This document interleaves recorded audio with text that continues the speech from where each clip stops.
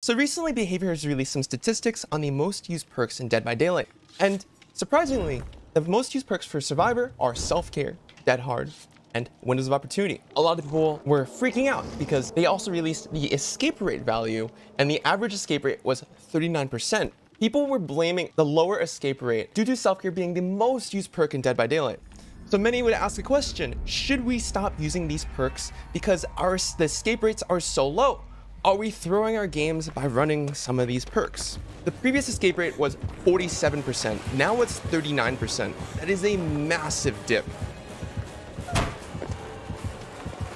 And I wanna I wanna go through every single perk one by one to answer that very question. In the case of self-care, there are a lot of archive quests currently that actually require self-care. Matter of fact, Behavior made an archive quest requiring people to only use self-care in their kit.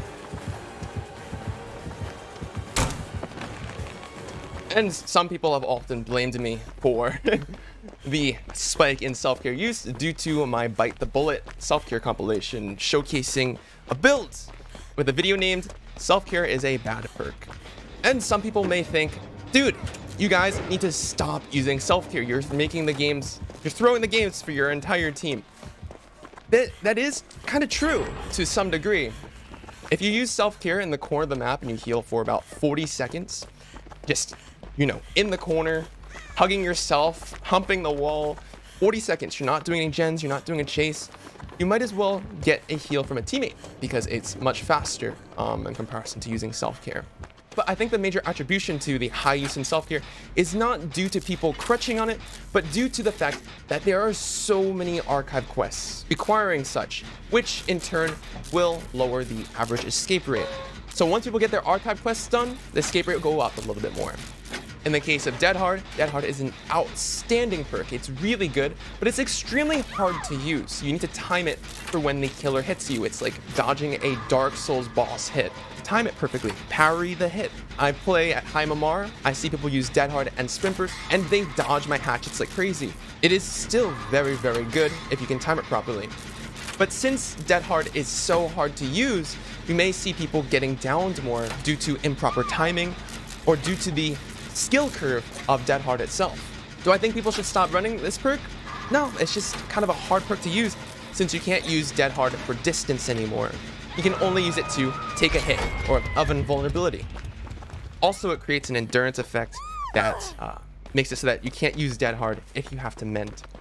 When it comes to Windows Opportunity, I think this perk makes people survive way more. And I think its attribution is due to a lot of people uh, showcasing how good it is. It tells you when someone drops a pallet, whether it's a boosted teammate dropping the shack pallet. It's like, oh, I can't rely on the shack for shack pallet anymore. God damn. Let's see. Is the shack pallet here? You can see it with Windows Opportunity. No. See? So now I'm like, oh, I'm not going to use shack. And I'm not going to die because there's no pallet over there.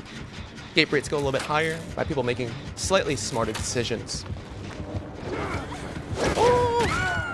Oh, you're unlucky.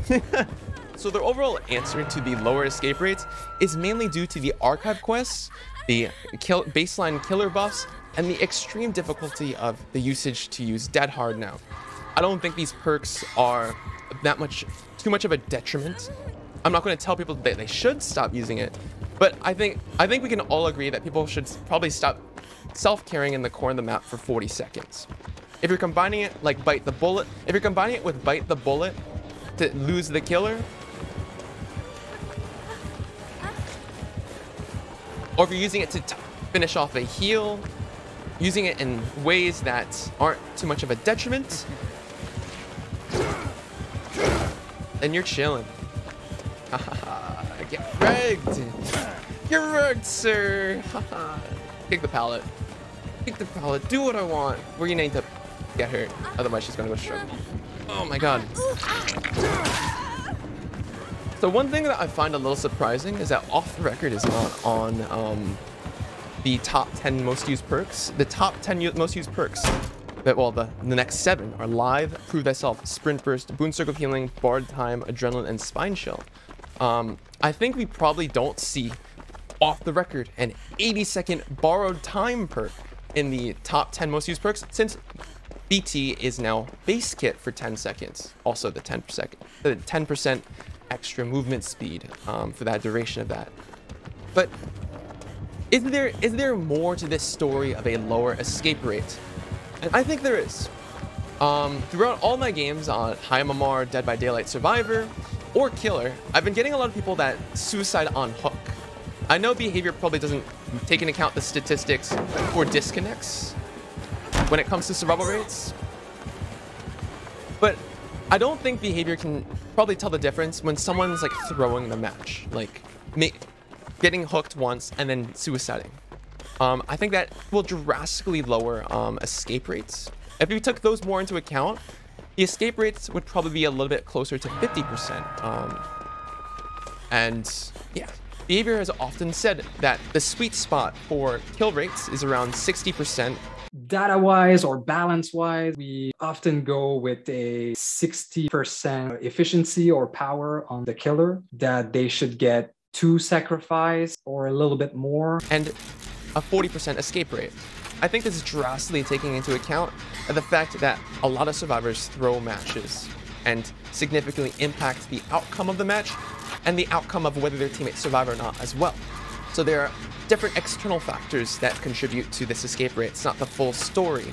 And honestly, I don't think it's the perks that are the main issue as well.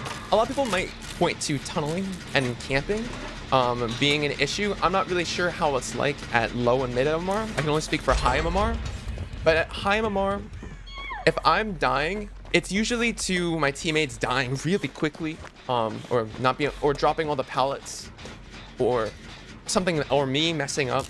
It's not usually the killer's fault that I that I die. It's usually it's usually my fault or my teammate's fault.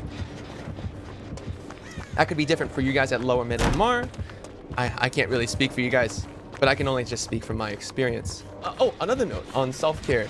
Um, self-care is maybe the most used perk in Dead by Daylight at a whopping 21% usage rate. Um, but that's only in certain regions. Uh, I know in America we have a big stigma about like, oh my god, you're using self-care. It's the best killer perk in the game. Oh my god, I love I love self-care. I love it when they, they heal themselves. But just like this situation right here, in America, there's a bit of shaming going on when people use a perk. Because because you could just straight up run like a med kit. Or a um or get healed from someone else. We're juicing this Wesker man. I'm not that much of... I don't use Windows Opportunity that much. But damn, it's pretty good, dude. Holy. I know I'm fucked if I go to that pallet. But we have to go to this one. You see, without Windows, I wouldn't have been able to make this decision making. oh my goodness. It's a great perk. Oh my goodness. But I still feel like there are a couple of perks that have been undiscovered that are really good in Dead by Daylight. For instance, like maybe we could, could see like a little bit more Lucky Break, Bite the Bullet, but those are kind of like combo-y perks, so I, I guess it makes sense why they're not used as much.